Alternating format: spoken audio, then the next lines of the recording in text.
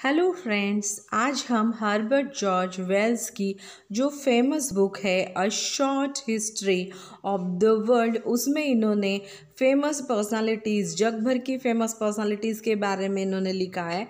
उसमें से ही एक स्टोरी जो गौतम बुद्ध की लाइफ के बारे में है।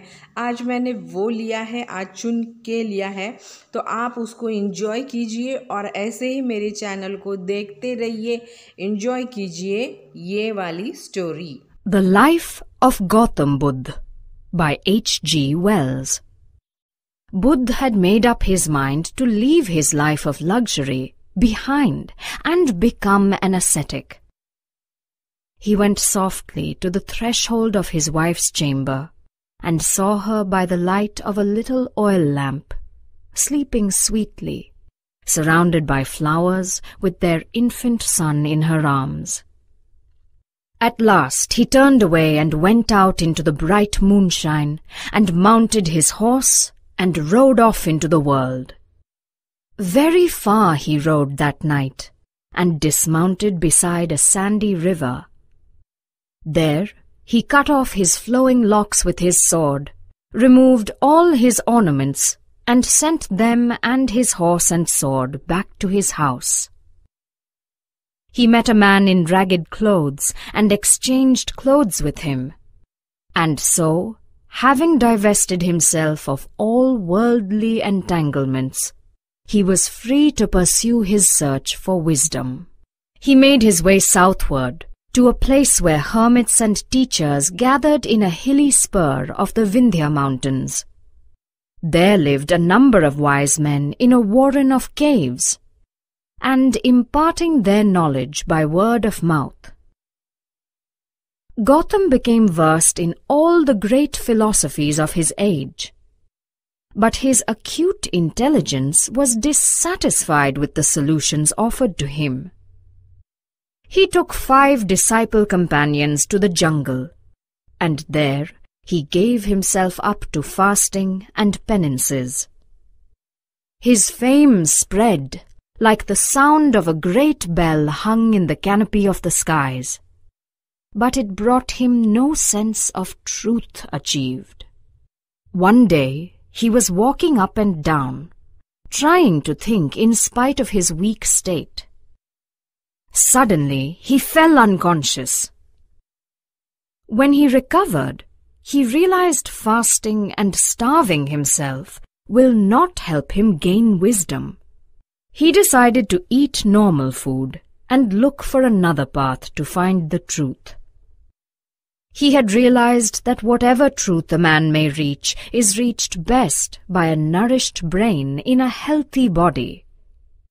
When the mind grapples with a great and complex problem, it makes its advances step by step, with but little realization of the gains it has made, until suddenly, with an effect of abrupt illumination, it realizes its victory. So it happened to Gotham. He had seated himself under a great tree by the side of a river when this sense of clear vision came to him. It seemed to him that he saw life plain. He is said to have sat all day and all night in profound thought, and then he rose up to impart his vision to the world.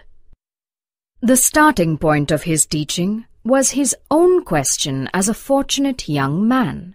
Why? Am I not completely happy? It was an introspective question.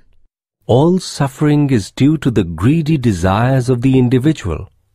As long as human beings crave things, they will know sorrow and will not be completely happy.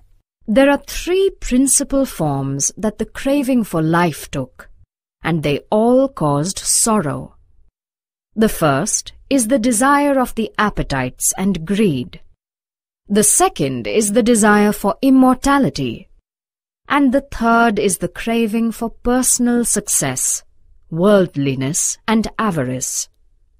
All these forms of desire had to be overcome to escape from the distresses of life. When they were overcome, then serenity of soul, nirvana, the highest good was attained. Gautam's disciples declared that he was a Buddha, that is, an enlightened being.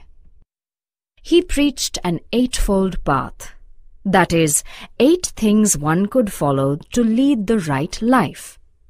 They are the right viewpoint, the right values, the right speech, the right actions, the right livelihood or way of earning, the right effort, the right mindfulness or mental ability to see and understand things, and the right concentration or state of meditation and enlightenment.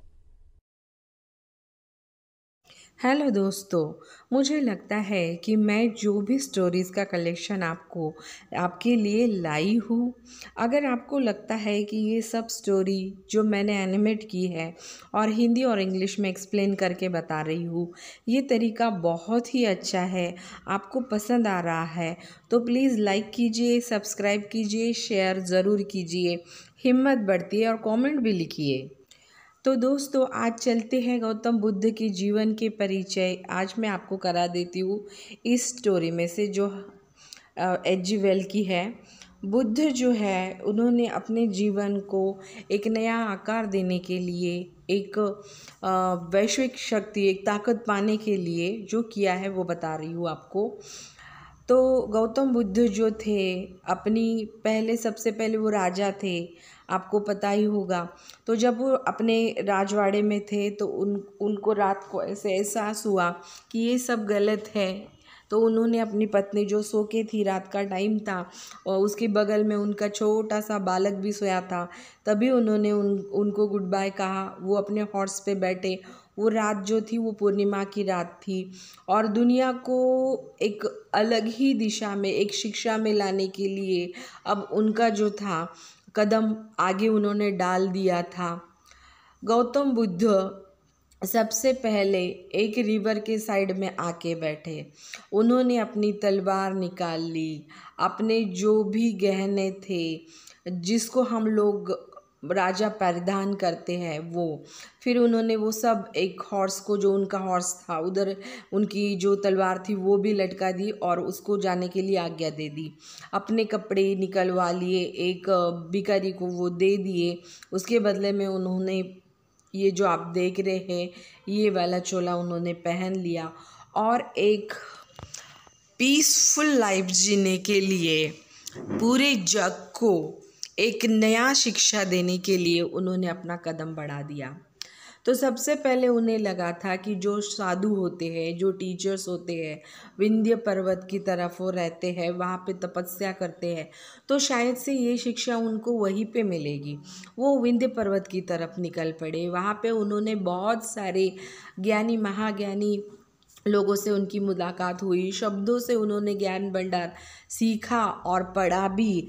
लेकिन जो उनकी as थी, वो as के लिए जो philosophy बनी थी, वो फिर भी उनको उतना सेटिस्फैक्शन नहीं देना, दे रही थी जितना वो चाहते थे, उनकी जो शिक्षा पाने का तरीका था, शिक्षा आरंभ करने का तरीका वो अलग ही था। तो फिर उन्होंने क्या किया, अपने पाँच भक्तों को लेके वो निकल पड़े जंगल में जंगल की तरफ़। तो जंगल में जब वो एक पेड़ के नीचे बैठे, तब खाना पीना उन्होंने पूरा छोड़ दिया था।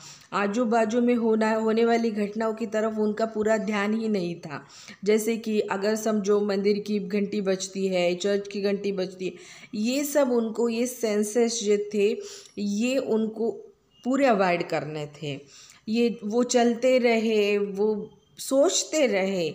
फिर उनको पता चला कि ऐसी कौन सी स्थिति हो सकती है जिसमें मुझे पीस दुनिया का सब ज्ञान मिलेगा। फिर वो उन्होंने सोचा कि ये जो हम उपवास कर रहे हैं शरीर को तकलीफ़ दे रहे हैं, ये ज्ञान हमें नहीं दे सकता है, ये हमको बीमार ज़रूर कर सकता है।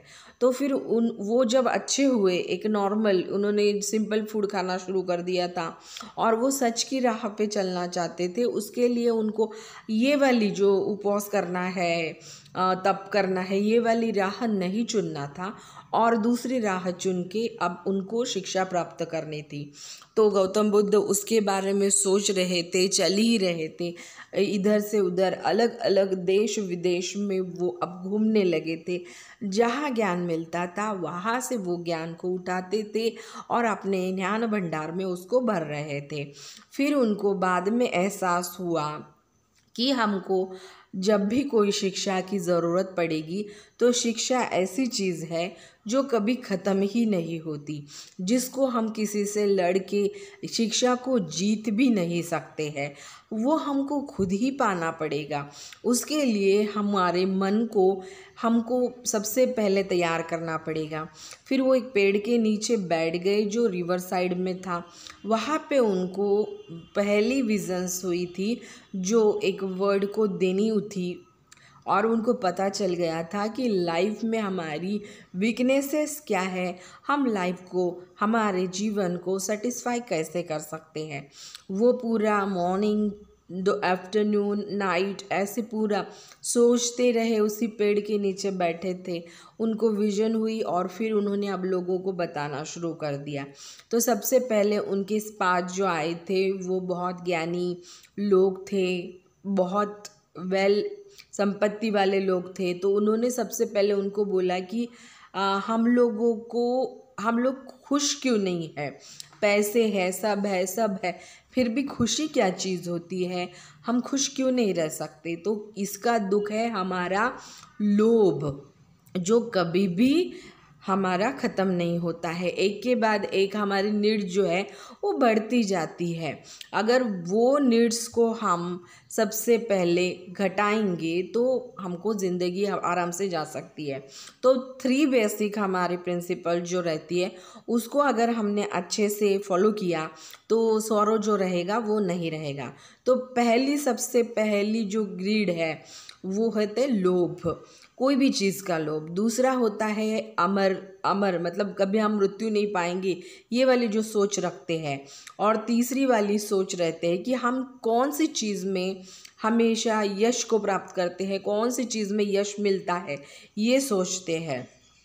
अगर हम लोभ के ऊपर, अमरत्व के ऊपर और हमारा जो यश है संपादन करना, उसको अगर हम अच्छे से उस, उससे मुक्ति पा लेंगे तो हम सारे दुखों से मुक्ति पा सकते हैं। तो उन्होंने सबसे पहले अपनी जो परमात्मा है, जो निर्वाणा बोलते हैं मतलब मोटिव, हम लोगों को कंसंट्रेशन करना पड़ेगा, हम लोगों को सोचना पड़ेगा। तो उनके जो भी शिष्य आते थे, उन्होंने अब गौतम बुद्ध को बुद्ध मान लिया था और वो जो बताते थे, वो उनको सुनते थे। तो एट, आठ जो पथ थे, मार्ग थे, उसके ऊपर चल के अब इंसान ट्रुथ की तरफ़ सत्य की तरफ़ दौड़ सकते हैं, शांति पीसफुल लाइफ जी सकते थे। तो सबसे पहले था right view point right values right speech right action ये क्या है? सच बोलना, सच की मार्ग पर चलना, सच का ही कृति करना और सच के लिए ही जीना। सबसे लास्ट में थी कि कंसंट्रेशन करना, जो भी चीज़ हम करते हैं, उसका सही तरीके से हम लोगों ने क्या करना चाहिए? ज़िंदगी में कंसंट्रेशन करना चाहिए। हमने सोचना चाहिए कि मैंने आज दिन भर जो किया, वो सच है अच्छा है क्या नहीं?